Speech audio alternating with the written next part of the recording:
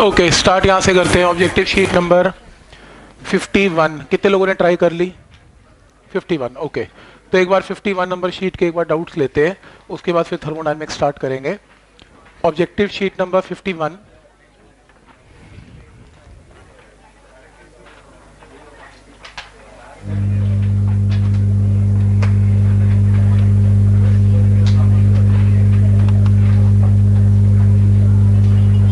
देखो।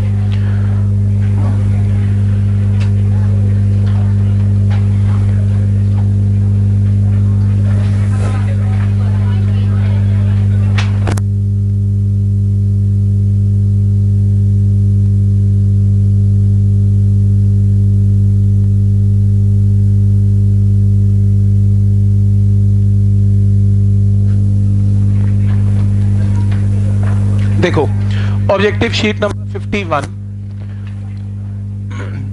के अंदर क्वेश्चन नंबर वन में कितने लोगों को डाउट है? कितने लोगों का चलो हो गया? 51 हो गया? अच्छा यार, मेरे को तो बड़ा स्ट्रगल करना पड़ा इसमें। मुझे पता नहीं कैसे। या मेरी केमिस्ट्री थोड़ी वीक होगी, मुझे पता नहीं कैसे but gas is enclosed in a vessel at a constant temperature at a pressure of 2.5 atmosphere and volume of 4 litre ठीक है तो क्वेश्चन में गिवन है, एक गैस है और वो एक कांस्टेंट टेम्परेचर पे है। टेम्परेचर चेंज नहीं हो रहा और प्रेशर गिवन है और वॉल्यूम गिवन है। अब क्या होता है कि लीक हो जाती है गैस लीक होने से प्रेशर 2.5 से कितना हो जाता है? टू एटमोस्फेयर हो जाता है। तो कितना वॉल्यूम ऑफ़ गैस एस्केप हो गया, ये मुझे निकालना है। ठीक क्वेश्चन समझ में आ गया? मैंने ऐसा क्वेश्चन मिलता जुलता करवाया था क्लास में, लेकिन उसमें नंबर ऑफ़ मोल्स कितने चले गए, ये कैलकुलेशन थी।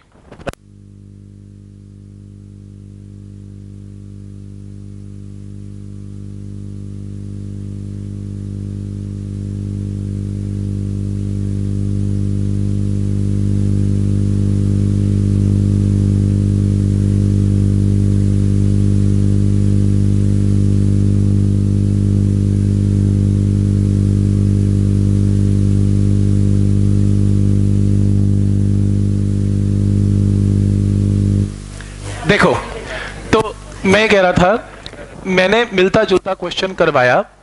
मैंने ऐसे करवाया था कि आप इक्वेशन लगाओ P V equal to n R T फिर नंबर ऑफ़ मोल्स इनिशियल निकालो नंबर ऑफ़ मोल्स फाइनल निकालो, दोनों को माइनस कर लो। मैंने ऐसा कहा था कि नंबर ऑफ़ मोल्स कितने एक्सकेप होते हैं, ऐसा करवाया था। इससे मेरा आंसर आया नहीं। मुझे नहीं पता आप लोगों ने कितना इसको सिंसियरली ट्राई किया, पर मैंने सेम मेथड लगाया और इवन आप मानोगे नहीं, मैंने उस शीट को भी रेफर किया कि मैंने उसको कैसे किया था। मेरा फिर भी क्वेश्चन ही सॉल्व हुआ ये वाला। फिर उसके बाद थोड़ा और दिमाग लगाया। P V equal to n R T और पी वी इक्वल टू मैंने क्या किया? मैंने, क्योंकि कितना परसेंटेज लॉस हो गया गैस का एक कंटेनर में से तो मैंने क्या किया? मैंने मासेस का परसेंटेज लॉस निकाल लिया। तो नंबर ऑफ़ मोल से नहीं बात बनी, कोई बात नहीं। तो मैंने क्या किया P V equal to nRT में एन को लिख लिया total mass by molecular mass M तो यहाँ से क्रॉस मल्टीप्लाई करके P V m by M is R T R into T तो कांस्टेंट होता है।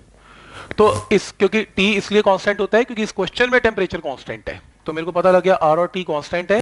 तो मींस पी वन वॉल्यूम भी कॉन्स्टेंट है कंटेनर का वॉल्यूम भी चेंज नहीं हो रहा। तो P one V M gas का कैपिटल एम भी सेम रहेगा। मतलब गैस निकलने से पहले और बाद में कैपिटल एम में कोई चेंज नहीं।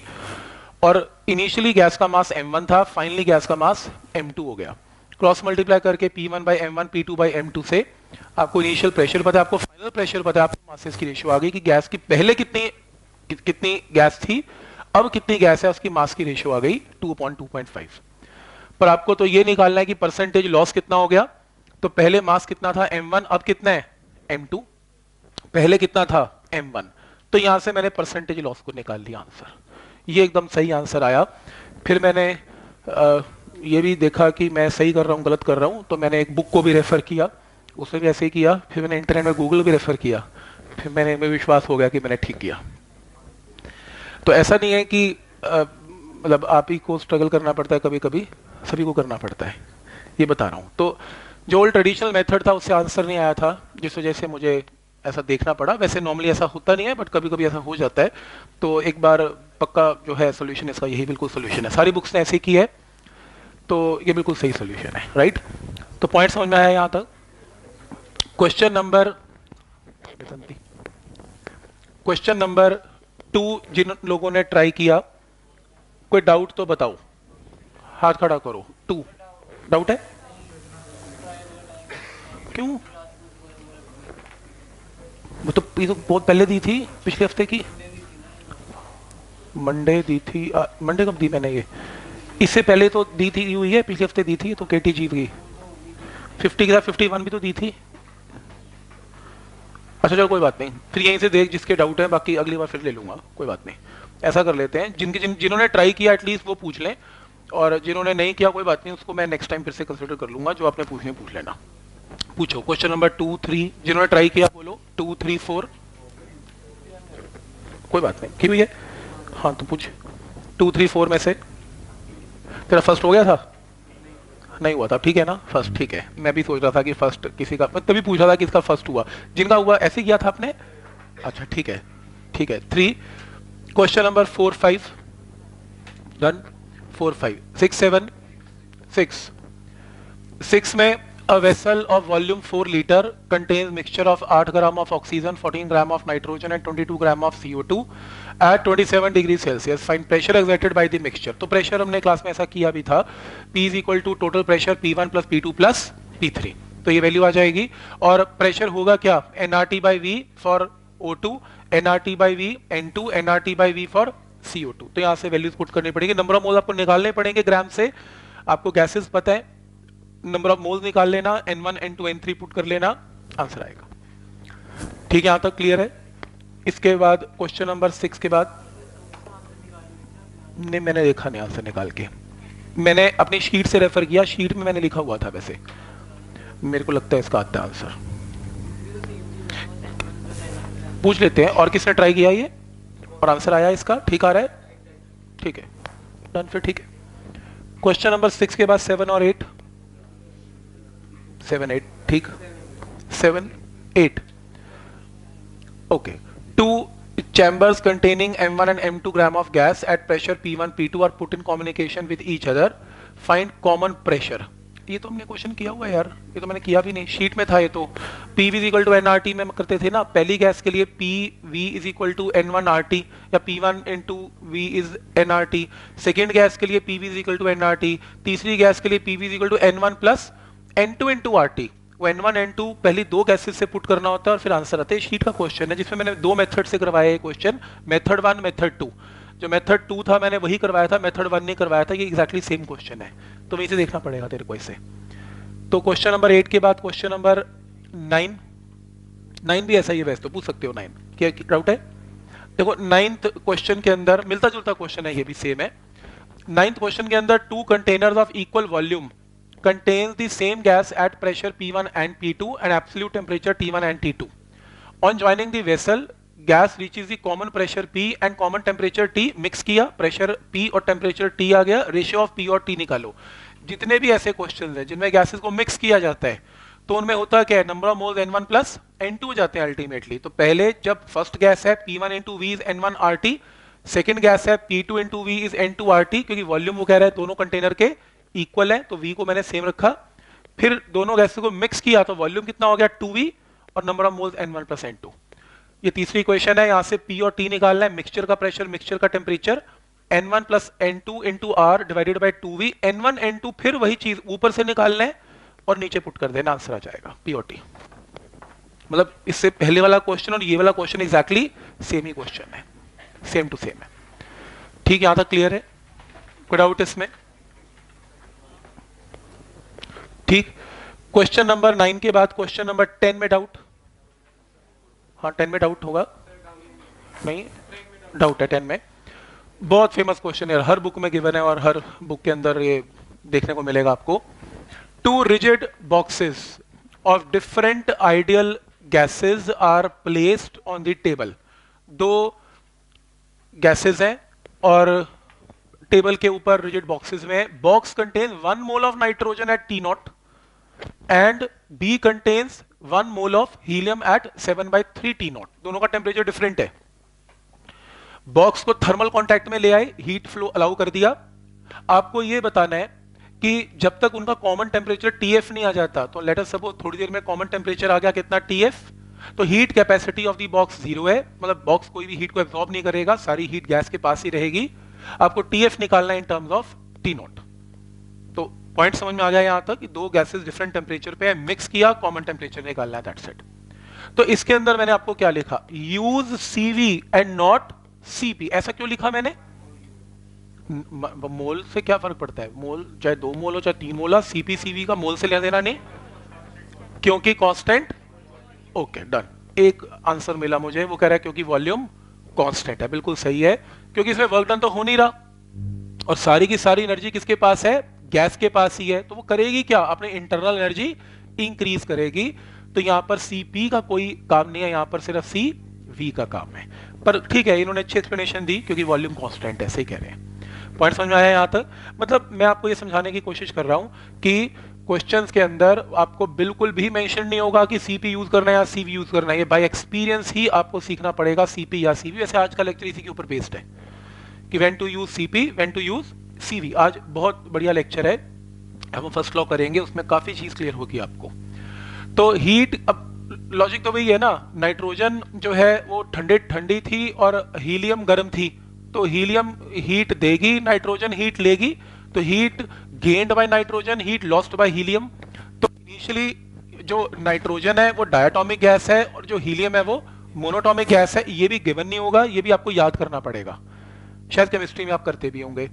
अब इसके अंदर, क्योंकि जब डायटोमिक पता है तो मैंने आपको कहा था याद करने को कि सीवी की वैल्यू डायटोमिक की याद करनी है फाइव बाई टू आर और सीवी की वैल्यू मोनोटोमिक की थ्री बाई टू आर ऐसे क्वेश्चन के लिए याद करने को कहा था गिवन नहीं होता, आपको खुद पुट करना होता है। तो सीवी का पता खुद लगेगा सीवी की वैल्यू खुद पुट करनी है। फिर टेम्परेचर डिफरेंस आपको पता है कि यहाँ पर जो नाइट्रोजन थी, वो टी नॉट पे थी और फाइनल टीएफ हो गया। और जो हीलियम थी, वो seven by three T naught से ठंडी हो गई और टीएफ पे हो गई। तो फाइनल टेम्परेचर इसका और इसका सेम है। तो यहाँ से इक्वेट करो इक्वेट करके टी एफ़ की value can be calculate T F T of F आ जाएगा। कोई डाउट इसमें। ठीक।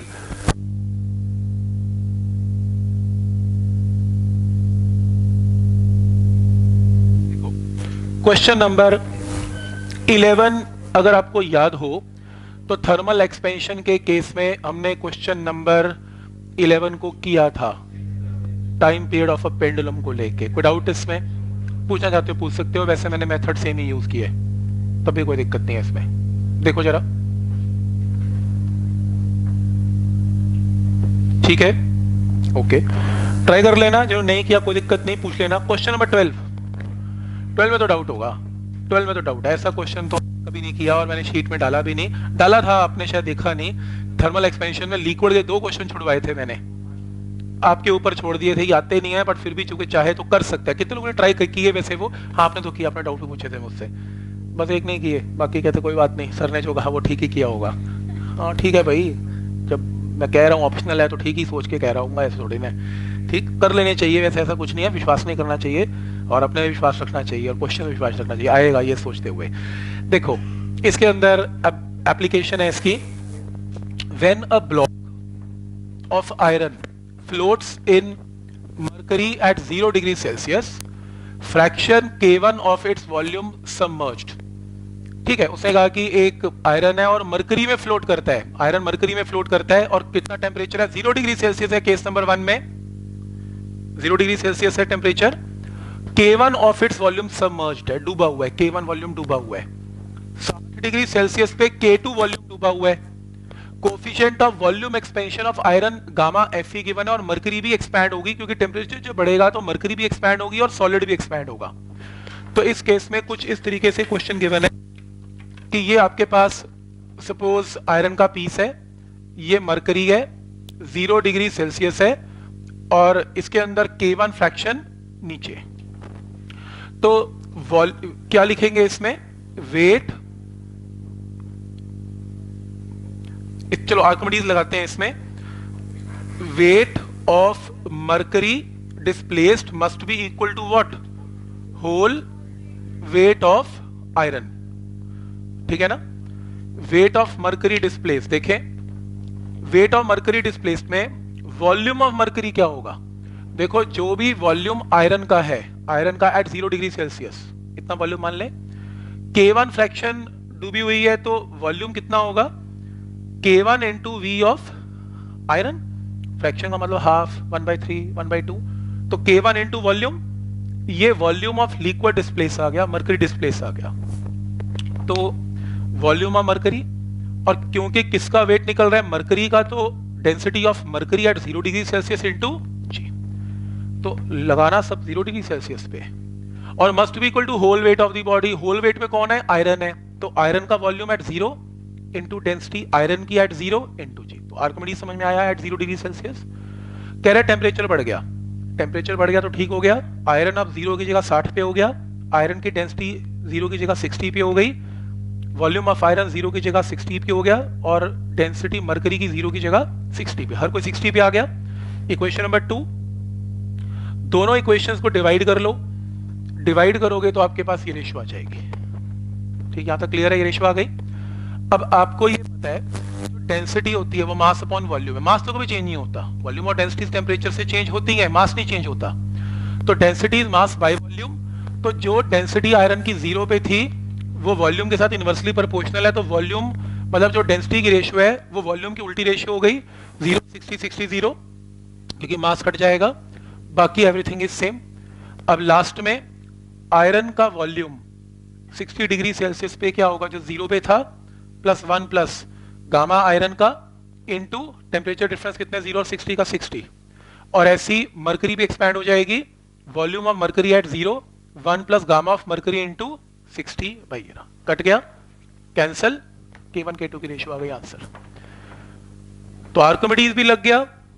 गामा के रिलेशन भी लग गए. फ्रैक्शन भी टेस्ट हो गया. बहुत बढ़िया क्वेश्चन है. ठीक? और ऐसा नहीं है कि ये आया नहीं हुआ. ये क्वेश्चन नीट या मेन में से एक जगह पक्का आया हुआ है, वहीं से लिया मैंने ये क्वेश्चन ऐसे नहीं है कि मैंने लिया नहीं है ऐसे. मतलब नॉर्मल क्वेश्चन की कैटेगरी में है ये एक्सेप्शनल नहीं है. ओके यहाँ तक क्लियर है?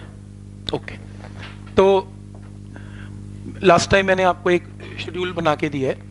आप चेक कर सकते हो उसमें ट्वेंटी फेब तक का पूरा उसमें डिटेल है. वो इसलिए, वो अभी दे दूँगा, जिसको नहीं मिला जाते मिल जाएगा. मैंने व्हाट्सएप पे भी वैसे डाला था उसे. उसमें एक टेंटेटिव एक चार्ट है, ताकि जब आखिरी मैच का ओवर होता है ना तो जिसको ये ना पता हो ना, छह बॉलों में कितने रन मारने हैं, वो मैच क्या जीतेगा।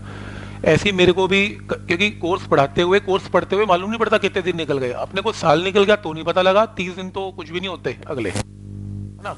तो ऐसा ना हो कि सिलेबस आउट ऑफ़ ट्रैक ही हो जाए, और पता लगे कि मैं चार की जगह छह लेक्चर आठ लेक्चर एस करवाए जा रहा हूँ, और मुझे पता ही लग रहा कि बस चले जा रहा हूँ। तो ये एक बाउंड कर दिया हमने इसके बीच में अगर कुछ ऊपर नीचे होता है तो एक्स्ट्रा क्लास में ही जाना पड़ेगा और कोई तरीका नहीं है।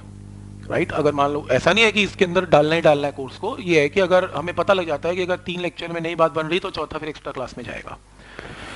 और क्योंकि दिसंबर के वन से फिफ्टीन तक हमने, क्योंकि सब्जेक्टिव पे ज़्यादा फोकस रखा रादर 25 नवंबर से लेके 15 दिसंबर तक, उसका रीज़न ये था, क्योंकि आपके स्कूल के एग्ज़ाम चल रहे होते हैं। उस टाइम बहुत ज़्यादा ऑब्जेक्टिव पे फोकस नहीं रहता, लेकिन अब क्योंकि स्कूल के एग्ज़ाम नहीं है तो अगले जनवरी एंड तक आपका सारा फोकस ऑब्जेक्टिव पे रहेगा। फिर फाइनल से पहले हम एक बार फिर राउंड लगाएँगे, उसका जो सब्जेक्टिव लगाना होगा, लेकिन अब मेन फोकस सारे के सारे टेस्ट ऑलमोस्ट ऑब्जेक्टिव ही होने हैं। आपका के का टेस्ट रखा था आज मैंने मैंने मैसेज कितने लोग पढ़ के आए? के का ना सब्जेक्टिव टेस्ट नहीं हो सकता, और आज नहीं हो सकता, क्योंकि आज कंबाइंड क्लास है, इतने में तो चिट हो जाएगी बहुत ज़्यादा। तो आज तो नहीं होगा। अगली बार जब क्लास में आओगे, आपका ऑब्जेक्टिव टेस्ट होगा। एक डेरिवेशन करके आनी है आपने एवरेज प्रेशर वाली, सुन लो। एवरेज प्रेशर लिखवा के देखना है। और बाकी ऑब्जेक्टिव टेस्ट है आपका अगली बार केटीजी का। आप प्लीज़ अपनी शीट्स में डिस्कस कर दी हैं, इसको प्रिपेयर करके आएँगे। अगली बार जो नॉर्मल कोर्स चलेगा, वो तो चलेगा ही। साथ में जो थर्मल प्रॉपर्टीज़ हैं, उनके जो डाउट्स हैं, आप पूछ सकते हैं, अगली बार कोई दिक्कत नहीं है। तो वो करने के बाद आपका थर्मल प्रॉपर्टीज़ का टेस्ट संडे को आने वाला है, मैंने बताया था। तो नेक्स्ट टाइम डिस्कशन कर लेंगे। संडे को ऑब्जेक्टिव है। कहा तक का? वेन्स डिस्प्लेसमेंट लॉ तक है राइट तो जिसका आपने सब्जेक्टिव टेस्ट दिया, अब उसका ऑब्जेक्टिव टेस्ट है। और क्योंकि दिसंबर के अंदर हम प्रॉपर्टीज़ का टेस्ट भी नहीं ले पाए थे फुल सिलेबस का मतलब जो पूरा का पूरा यूनिट का तो वो मैंने आपको ब्रेक दी है बीच में। तो तीन तारीख को आपका ऑब्जेक्टिव टेस्ट होगा प्रॉपर्टीज़ ऑफ़ मैटर का ओनली ऑब्जेक्टिव और अगर आपने नोट किया हो, जितने आपके ऑब्जेक्टिव टेस्ट क्लास में होंगे, इससे एक दिन पहले मैंने online test for practice portal खोला हुआ है। आप एक दिन पहले अपनी प्रैक्टिस करके ही उस टेस्ट को दें। ठीक है ना? तो एक बार ऑब्जेक्टिव ऑनलाइन देंगे, एक बार यहाँ ऑफलाइन देंगे। ऑनलाइन ऑफलाइन इस तरीके से ऑलमोस्ट हर क्लास में ऑब्जेक्टिव टेस्ट होगा ही होगा आपका। हाँ वो आपका प्रैक्टिस टेस्ट है। आप मॉक टेस्ट दे सकते हैं। नहीं नहीं ऑनलाइन टेस्ट कभी दे सकते हैं। मैं उसको अपलोड करवा दिया मैंने। आप कभी दे सकते हैं, उसमें कोई दिक्कत नहीं है। ठीक है? ओके आज का काम स्टार्ट करते हैं। जो थर्मोडाइनमिक्स हमने लास्ट टाइम किया था अगर आपको याद हो।